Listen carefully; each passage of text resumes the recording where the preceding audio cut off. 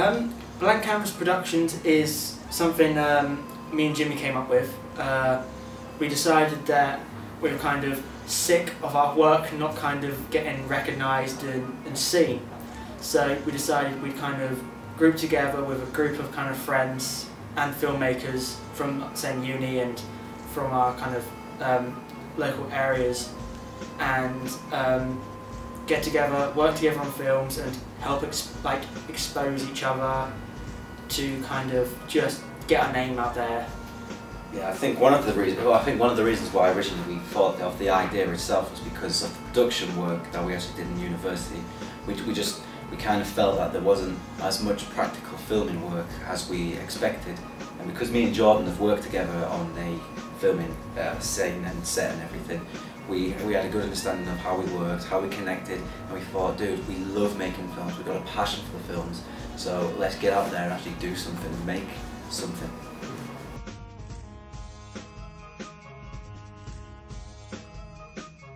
Well, again, me and Jimmy worked together on two productions now, um, and I just I really enjoyed working with him.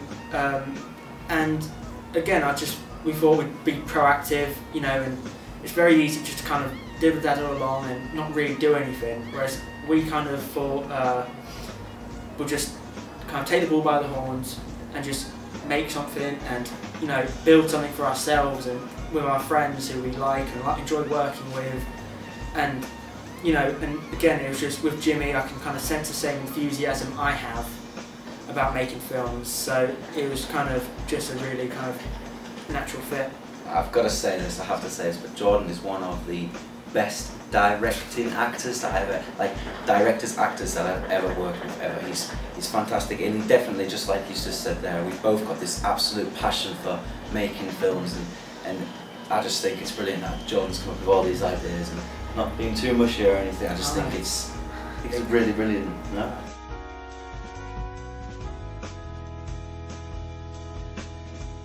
Well once we get kind of the website uh, in the middle of July and you know bits and pieces like that, I just kind of we wanted to kind of take it quite slow and just build kind of a fan base, a bit of a following. You know, people who kind of know who Blanc Canvas are and look for our, our work, whether it's like I make, Jimmy, James, you know, Sean, you know, whoever. They have that following, they have that kind of knowledge of who Blanc Canvas is, and then from there build to kind of, you know, again maybe host events and you know, just kind of help film as a medium in general, in whatever sense, you know, we can as a small group, whether it is just kind of helping people get their film seen or, you know, helping out productions and, you know, anything we can kind of do and build in terms of film would just be perfect.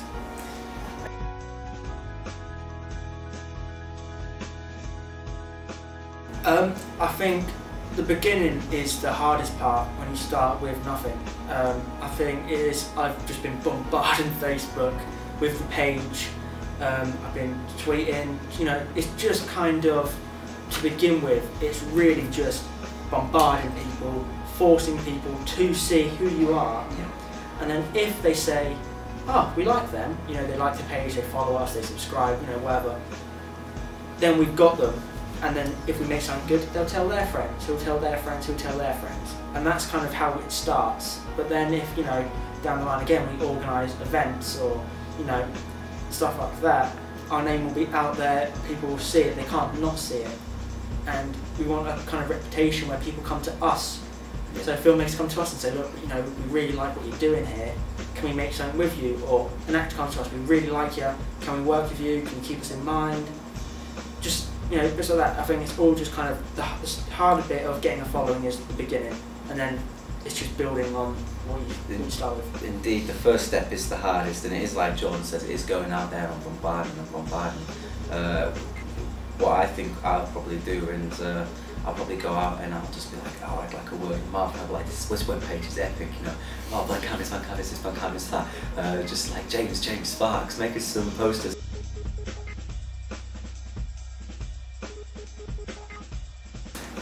What they can expect is they can expect to see films that is both fun and engaging and also inspiring. You know, it's not going to be Hollywood standard. It's not going to be epically, unbelievably amazing. It'll be close, but it won't be like hey look that's John Travolta, oh Johnny Depp and all that. It will be more like sort of just a new opening, a new kind of beginning. So in a way they can expect to just like, oh wow, that's a really good idea. I didn't think about that.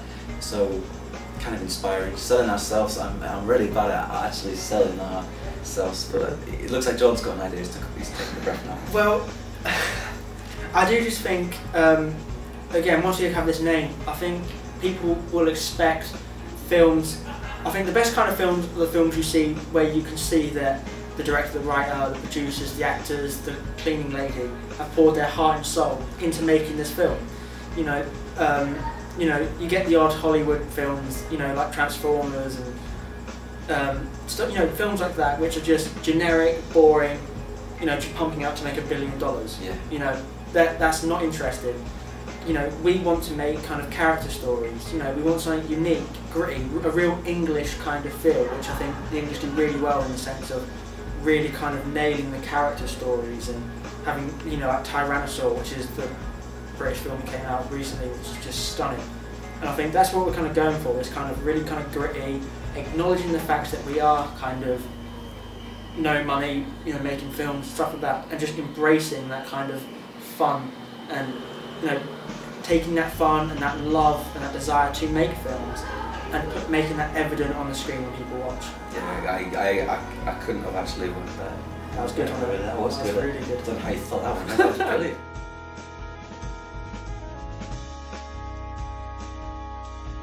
I'll take one. Well, why we chose film to begin with? Because as as a young as a young like uh, boy, I was I was really interested in films. Uh, I used to go see a film, and instead of like walking out of the cinema going, "Oh, that was amazing! Oh, wow, I can't wait to see the next one," I used to be always like, "Wow, how do you think they did it? How, how did they create something? How did how did they get to that point in the film?" Um, so that's why I've always really been interested in films and acting because I've always been really interested in creating this absolutely wonderful piece that I can say, yeah, you know, that's from my mind. That's from that is my idea.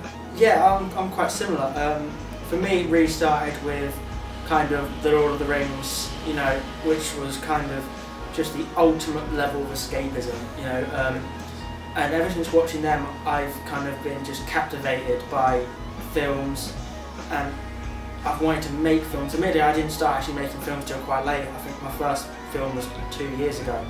Um, but it's just kind of that craft of you know, and the illusion of cinema, and you know, again, going into a cinema, not knowing what to expect, and kind of just losing yourself in this world that a director, a writer, and some actors have created, and just slipping into that.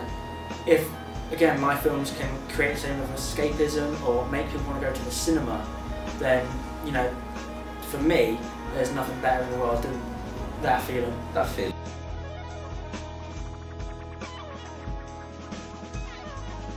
Um, the first film is one of Jimmy's. It releases on Friday. Um, First. yeah, the first of June. Um, and then we're going to slowly kind of re-release our old stuff. You know, um, you know what we've done. You know, and um, our ma- um, my film goes to production on the sixth of August. You've got another film going in in summer at some point, and I do. I have. I have The Witcher Part Four, and also a couple of other stuff. yeah, it's slowly just going to be trickling out original films whilst kind of showing you what we've done and you know bringing in other kind of other people's films and you know just to kind of The Witch. Yes. yeah The Witcher is a. Um, even though it's the first film from uh, Blanc Blanc Canvas, it's um, it is it is it's a very very big kind of escapism kind of It's it's not what you would expect a British television show to be like.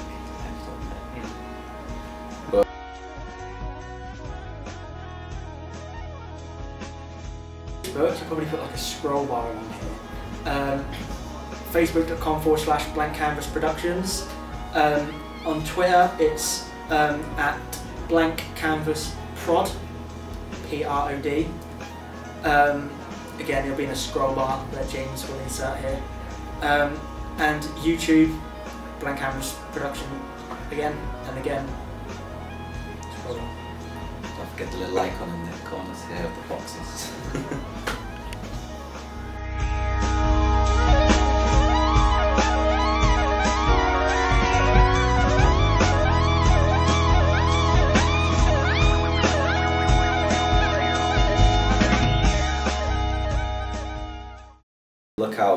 uh, Steven Spielberg, George Lucas, because even though you made a mistake with the fourth Indiana Jones, our ideas are going to absolutely top it. It's.